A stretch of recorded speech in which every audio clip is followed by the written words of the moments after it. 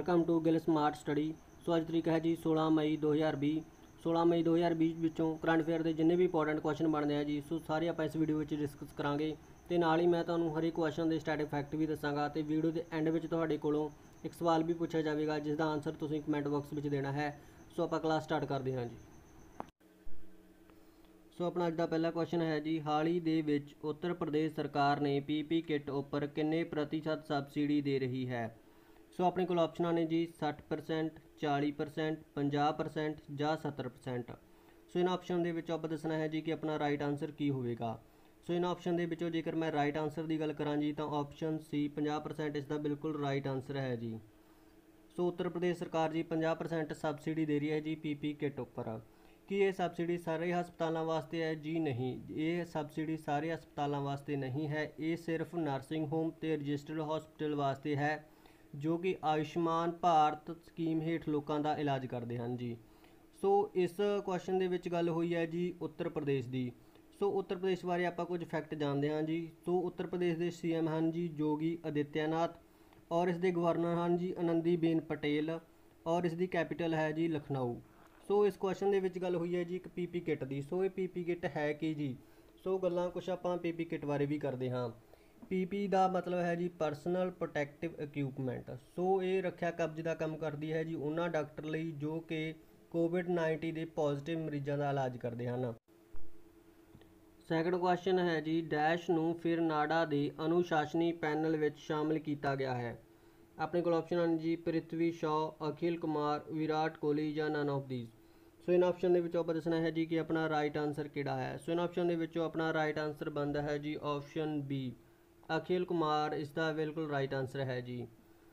So Akhil Kumar former Commonwealth Games ਦੇ ਵਿੱਚ 골ਡ ਵਿਨਿੰਗ ਰਹਿ ਚੁੱਕੇ ਨੇ ਜੀ। ਸੋ ਇਹਨਾਂ ਨੂੰ ਅਰਜਨ ਅਵਾਰਡ ਵੀ ਮਿਲਿਆ ਹੈ 2005 ਦੇ ਵਿੱਚ ਸੋ ਇਸ ਕੁਐਸਚਨ ਦੇ ਵਿੱਚ ਗੱਲ ਹੋਈ ਹੈ ਨਾਡਾ ਦੀ। ਸੋ ਨਾਡਾ ਕੀ ਹੈ? ਨਾਡਾ ਦੀ ਫੁੱਲ ਫਾਰਮ ਹੈ National Anti Doping Agency so ਇਸ ਦਾ ਮੇਨ ਮੋਟਿਵ ਹੈ ਜੀ ਉਹਨਾਂ ਖਿਡਾਰੀਆਂ ਦੀ ਜਾਂਚ ਪੜਤਾਲ ਕਰਨਾ ਜੋ ਨਸ਼ੇ ਦਾ ਸੇਵਨ ਕਰਕੇ ਖੇਡਦੇ ਹਨ। ਸੋ ਇਹ ਖੋਜੀ ਗਈ ਸੀ ਜੀ 24 ਨਵੰਬਰ 2005 ਦੇ ਵਿੱਚ। ਇਸ ਦੇ ਸੀਓ ਹਨ ਨਵੀਨ ਅਗਰਵਾਲ ਹੈੱਡਕੁਆਟਰ ਹੈ ਨਿਊ ਦਿੱਲੀ, ਮੋਟੋ ਹੈ ਪਲੇ ਫੇਅਰ ਭਾਵ ਇਮਾਨਦਾਰੀ ਨਾਲ ਖੇਡੋ। ਇਹ ਤਾਂ ਹੋਈ ਸੀ ਜੀ ਆਪਣੀ ਨੈਸ਼ਨਲ ਏਜੰਸੀ ਇਸੇ ਤਰ੍ਹਾਂ ਆਪਣੀ ਇੱਕ ਵਰਲਡ ਏਜੰਸੀ ਵੀ ਹੈ ਜੀ, ਜਿਸ ਦਾ ਨਾਮ ਹੈ ਜੀ ਵਾਡਾ। ਸੋ ਇਸ ਦਾ ਹੈੱਡਕੁਆਟਰ ਹੈ ਜੀ ਮੌਂਟਰੀਅਲ ਕੈਨੇਡਾ ਦੇ ਵਿੱਚ। ਵਾਡਾ ਦੀ ਫੁੱਲ ਫਾਰਮ ਹੈ ਜੀ World Anti Doping Agency so ਇਸ ਕੁਐਸਚਨ ਤੋਂ ਸਾਨੂੰ ਇੰਨੀ ਹੀ ਜਾਣਕਾਰੀ ਮਿਲਦੀ ਹੈ।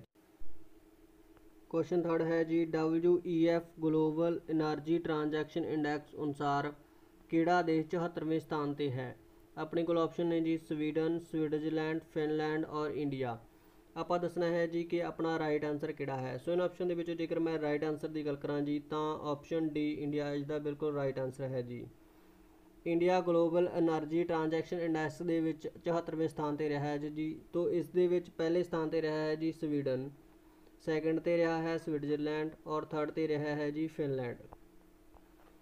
So Global Energy Transition Index ਨੂੰ ਜੀ WEF ਦੁਆਰਾ ਰਿਪੋਰਟ ਕੀਤਾ ਜਾਂਦਾ ਹੈ। ਸੋ WEF ਬਾਰੇ ਆਪਾਂ ਕੁਝ ਗੱਲਾਂ ਜਾਣਦੇ ਹਾਂ। WEF ਦੀ ਫੁੱਲ ਫਾਰਮ ਹੈ ਜੀ ਵਰਲਡ ਇਕਨੋਮਿਕ ਫੋਰਮ।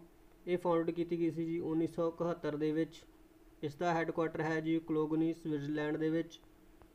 ਸੋ ਇਸ ਦੀ ਅਫੀਸ਼ੀਅਲ ਲੈਂਗੁਏਜ ਹੈ ਜੀ ਇੰਗਲਿਸ਼। ਔਰ ਐਗਜ਼ੀਕਿਊਟਿਵ ਚੇਅਰਮੈਨ ਨੇ ਜੀ ਕਲੌਸ ਸਚਵੈਬ।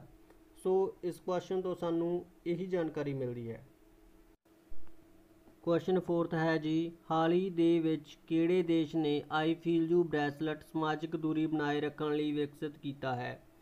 ਸੋ ਆਪਣੇ ਕੋਲ ਆਪਸ਼ਨ ਨੇ ਜੀ ਇੰਡੀਆ ਫਰਾਂਸ ਇਟਲੀ ਜਾਂ ਨਨ ਆਫ ਥੀਸ ਸੋ ਇਹਨਾਂ ਆਪਸ਼ਨ ਦੇ ਵਿੱਚੋਂ ਆਪਾਂ ਦੱਸਣਾ ਹੈ ਜੀ ਕਿ ਆਪਣਾ ਰਾਈਟ ਆਨਸਰ ਕਿਹੜਾ ਹੈ? ਸੋ ਇਹਨਾਂ ਆਪਸ਼ਨ ਦੇ ਵਿੱਚੋਂ ਜੇਕਰ ਮੈਂ ਰਾਈਟ ਆਨਸਰ ਦੀ ਗੱਲ ਕਰਾਂ ਜੀ, ਤਾਂ ਰਾਈਟ ਆਨਸਰ ਬਣਦਾ ਹੈ ਜੀ ਆਪਸ਼ਨ ਸੀ ਇਟਲੀ ਇਸ ਦਾ ਬਿਲਕੁਲ ਰਾਈਟ ਆਨਸਰ ਹੈ ਜੀ। ਸੋ ਕੁਝ ਗੱਲਾਂ ਆਪਾਂ ਇਟਲੀ ਬਾਰੇ ਜਾਣਦੇ ਹਾਂ। ਇਟਲੀ ਦੀ ਕੈਪੀਟਲ ਹੈ ਫਰਾਂਸ। ਕਰੰਸੀ ਚੱਲਦੀ ਹੈ ਜੀ ਇੱਥੇ ਯੂਰੋ। ਸੋ ਇਟਲੀ ਹੋਸਟ ਕਰੇਗਾ ਜੀ G20 ਸਬਮਿਟ 2021 ਨੂੰ। ਸੋ ਜੇਕਰ ਆਪਾਂ ਗੱਲ ਕਰੀਏ G20 ਸਬਮਿਟ 2022 ਦੀ ਸੋ ਉਸ ਨੂੰ ਹੋਸਟ ਕਰੇਗਾ ਜੀ ਇੰਡੀਆ ਜੋ ਕਿ ਆਪਣੇ ਪਿਆਰੇ ਭਾਰਤ ਦੇ ਵਿੱਚ ਹੋਵੇਗਾ। ਕੁਐਸਚਨ ਨੰਬਰ 5 ਹੈ ਜੀ, ਹਾਲ ਹੀ ਦੇ ਵਿੱਚ ਕਿਹੜੇ ਬੈਂਕ ਨੇ ਐਮਰਜੈਂਸੀ ਅਸਿਸਟੈਂਸ ਪ੍ਰੋਗਰਾਮ ਤਹਿਤ ਭਾਰਤ ਨੂੰ 1 ਬਿਲੀਅਨ ਯੂਐਸ ਡਾਲਰ ਦਿੱਤੇ ਹਨ? ਸੋ ਆਪਣੇ ਆਪਸ਼ਨ ਹਨ ਜੀ ADB Axis Bank World Bank ਜਾਂ NDB ਸੋ ਇਹਨਾਂ ਆਪਸ਼ਨਾਂ ਵਿੱਚੋਂ ਦੱਸਣਾ ਹੈ ਜੀ ਕਿ ਆਪਣਾ ਰਾਈਟ ਆਨਸਰ ਕਿਹੜਾ ਹੈ? ਸੋ ਇਹਨਾਂ ਚਾਰ ਆਪਸ਼ਨਾਂ ਦੇ ਵਿੱਚੋਂ ਜੇਕਰ ਮੈਂ ਰਾਈਟ ਆਨਸਰ ਦੀ ਗੱਲ ਕਰਾਂ ਜੀ, ਤਾਂ ਆਪਸ਼ਨ ਡੀ NDB ਇਸ ਦਾ ਬਿਲਕੁਲ ਰਾਈਟ ਆਨਸਰ ਹੈ ਜੀ। ਜਿਸ ਨੂੰ ਆਪਾਂ ਬ੍ਰਿਕਸ ਦੇ ਨਾਮ ਨਾਲ ਵੀ ਜਾਣਦੇ ਹਾਂ ਜੀ। ਸੋ ਇਸ ਦੇ ਮੈਂਬਰ ਹਨ ਜੀ ਬ੍ਰਾਜ਼ੀਲ, ਰਸ਼ੀਆ, ਇੰਡੀਆ, ਚਾਈਨਾ ਔਰ ਸਾਊਥ ਅਫਰੀਕਾ। ਸੋ ਇਸ ਦੇ ਹੈੱਡਕੁਆਟਰ ਦੀ ਗੱਲ ਕਰੀਏ ਜੀ ਇਸ ਦਾ ਹੈੱਡਕੁਆਟਰ ਹੈ ਸ਼ੰਘਾਈ ਦੇ ਵਿੱਚ। ਇਸ ਦੇ ਪ੍ਰੈਜ਼ੀਡੈਂਟ ਹਨ ਜੀ ਕੇ ਵੀ ਕਾਂਪਤ। ਸੋ ਇਸ ਕੁਐਸਚਨ ਦੇ ਵਿੱਚੋਂ ਸਾਨੂੰ ਇੰਨੀ ਹੀ ਜਾਣਕਾਰੀ ਮਿਲਦੀ ਹੈ। ਸੋ ਆਪਣੇ ਕੋਲ ਕੁਐਸਚਨ 6th ਹੈ ਜੀ, ਹਾਲ ਹੀ ਦੇ ਵਿੱਚ ਅੰਜੁਮ ਮੋਦਗਿਲ ਨੂੰ ਰਾਜੀਵ ਗਾਂਧੀ ਖੇਲ ਰਤਨ ਲਈ ਰეკਮੈਂਡ ਕੀਤਾ ਗਿਆ ਹੈ। ਇਹ ਕਿਸ ਖੇਡ ਨਾਲ ਸੰਬੰਧਿਤ ਹੈ? ਸੋ ਆਪਣੇ ਕੋਲ ਆਪਸ਼ਨ ਨੇ ਜੀ ਕ੍ਰਿਕਟ, ਟੈਨਿਸ ਸ਼ੂਟਿੰਗ ਜਾਂ ਇਹਨਾਂ ਵਿੱਚੋਂ ਕੋਈ ਨਹੀਂ।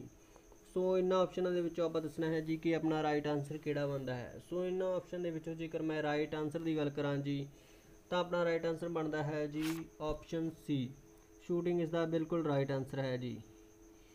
ਸੋ ਆਪਾਂ ਪਿਕਚਰ ਦੇ ਵਿੱਚ ਦੇਖ ਸਕਦੇ ਹਾਂ ਜੀ, ਇਹ ਹਨ ਅੰਜੁਮ ਮੋਦਗਿਲ, ਜਿਨ੍ਹਾਂ ਨੂੰ ਸ਼ੂਟਿੰਗ ਦੇ ਵਿੱਚ ਰਾਜੀਵ ਗਾਂਧੀ ਖੇਲ ਰਤਨ ਲਈ ਰეკਮੈਂਡ ਕੀਤਾ ਗਿਆ ਹੈ ਜੀ। ਕੁਐਸਚਨ 7th ਹੈ ਜੀ ਇੰਟਰਨੈਸ਼ਨਲ ਡੇ ਆਫ ਫੈਮਿਲੀ ਕਦੋਂ ਮਨਾਇਆ ਜਾਂਦਾ ਹੈ? ਸੋ ਆਪਣੇ ਕੋਲ ਆਪਸ਼ਨ ਨੇ ਜੀ 10 ਮਈ 12 ਮਈ 15 ਮਈ ਜਾਂ 17 ਮਈ। ਸੋ ਇਹਨਾਂ ਆਪਸ਼ਨ ਦੇ ਵਿੱਚੋਂ ਆਪਾਂ ਦੱਸਣਾ ਹੈ ਜੀ ਕਿ ਆਪਣਾ ਰਾਈਟ ਆਨਸਰ ਕਿਹੜਾ ਹੈ? ਸੋ ਇਹਨਾਂ ਆਪਸ਼ਨ ਦੇ ਵਿੱਚੋਂ ਆਪਣਾ ਰਾਈਟ ਆਨਸਰ ਬਣਦਾ ਹੈ ਜੀ ਆਪਸ਼ਨ ਸੀ 15 ਮਈ। ਇਸ ਦਾ ਬਿਲਕੁਲ ਰਾਈਟ ਆਨਸਰ ਹੈ ਜੀ 15 ਮਈ ਨੂੰ ਇੰਟਰਨੈਸ਼ਨਲ ਡੇ ਆਫ ਫੈਮਿਲੀ ਮਨਾਇਆ ਜਾਂਦਾ ਹੈ ਜੀ। ਕੁਐਸਚਨ ਨੰਬਰ 8 ਹਾਲ ਹੀ ਦੇ ਵਿੱਚ ਸੀਬੀਐਸਈ ਦੇ ਨਵੇਂ ਚੇਅਰਮੈਨ ਕੌਣ ਬਣੇ ਹਨ? ਸੋ ਆਪਣੇ ਕੋਲ ਆਪਸ਼ਨ ਨੇ ਜੀ, ਰਾਜੀਵ ਕੁਮਾਰ ਕੁਮਾਰ ਸਿਨਹਾ, ਮਨੋਜ ਆਹੂਜਾ ਜਾਂ ਨਨ ਸੋ ਇਹਨਾਂ ਚਾਰ ਆਪਸ਼ਨਾਂ ਵਿੱਚੋਂ ਆਪਾਂ ਦੱਸਣਾ ਹੈ ਜੀ ਕਿ ਆਪਣਾ ਰਾਈਟ ਆਨਸਰ ਕਿਹੜਾ ਹੈ। ਸੋ ਇਹਨਾਂ ਚਾਰ ਆਪਸ਼ਨਾਂ ਦੇ ਵਿੱਚੋਂ ਰਾਈਟ ਆਨਸਰ ਆਪਣਾ ਬਣਦਾ ਹੈ ਜੀ ਆਪਸ਼ਨ ਸੀ ਮਨੋਜ ਆਹੂਜਾ। ਬਿਲਕੁਲ ਰਾਈਟ ਆਨਸਰ ਹੈ ਜੀ ਇਸ ਦਾ ਮਨੋਜ ਆਹੂਜਾ ਸੀਬੀਐਸਈ ਦੇ ਨਵੇਂ ਚੇਅਰਮੈਨ ਬਣੇ ਹਨ। ਸੋ ਸੀਬੀਐਸਈ ਦਾ ਫਾਰਮੇਸ਼ਨ ਹੋਇਆ ਜੀ 1962 ਦੇ ਵਿੱਚ। ਇਸ ਦਾ ਹੈੱਡਕੁਆਟਰ ਹੈ ਜੀ ਨਿਊ ਦਿੱਲੀ ਦੇ ਵਿੱਚ। ਕੁਐਸਚਨ ਨੰਬਰ 9 ਹੈ ਜੀ ਸਬੈਸਟੀਅਨ ਵੈਟਲੇ ਕਿਹੜੇ ਦੇਸ਼ ਦੇ ਹਨ? ਆਪਣੇ ਕੋਲ ਆਪਸ਼ਨਾਂ ਨੇ ਜੀ France U S A Germany ਜਾਂ ਰਸ਼ੀਆ ਸੋ ਇਹਨਾਂ ਆਪਸ਼ਨਾਂ ਵਿੱਚੋਂ ਆਪਾਂ ਦੇਖਣਾ ਹੈ ਕਿ ਆਪਣਾ ਰਾਈਟ ਆਨਸਰ ਕਿਹੜਾ ਬਣਦਾ ਹੈ। ਸੋ ਇਹਨਾਂ ਆਪਸ਼ਨਾਂ ਦੇ ਵਿੱਚੋਂ ਆਪਣਾ ਰਾਈਟ ਆਨਸਰ ਬਣਦਾ ਹੈ ਜੀ ਆਪਸ਼ਨ ਸੀ ਜਰਮਨੀ ਇਸ ਦਾ ਬਿਲਕੁਲ ਰਾਈਟ ਆਨਸਰ ਹੈ ਜੀ ਸਬੈਸਟੀਅਨ ਵੈਟਲੇ ਇੱਕ ਮਸ਼ਹੂਰ ਕਾਰ ਰੇਸਰ ਹਨ ਜੋ ਕਿ 4 ਵਾਰ ਵਰਲਡ ਚੈਂਪੀਅਨਸ਼ਿਪ ਜਿੱਤ ਚੁੱਕੇ ਹਨ ਜੀ। ਸੋ ਇਹ ਫਰਾਰੀ ਲੈ ਲਈ 14 ਵਾਰ ਰੇਸ ਜਿੱਤ ਚੁੱਕੇ ਹਨ।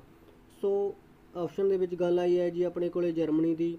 ਸੋ ਜਰਮਨੀ ਦੀ ਜੀ ਜੋ ਕੈਪੀਟਲ ਹੈ, ਉਹ ਹੈ ਜੀ ਬਰਲਿਨ ਔਰ ਇਸ ਦੀ ਕਰੰਸੀ ਹੈ ਜੀ ਯੂਰੋ। ਸੋ ਇਸ